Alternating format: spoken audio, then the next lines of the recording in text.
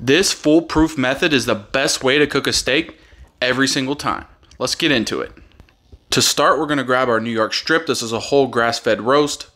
We love just using the whole roast so we can cut it into smaller steaks. It's much, much cheaper that way. I also like to cut them thick like that. That way we can cook them a little bit more even.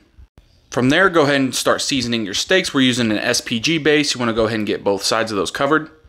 Then go ahead and add as many steaks as you have to a wire rack. We're gonna get this into the oven.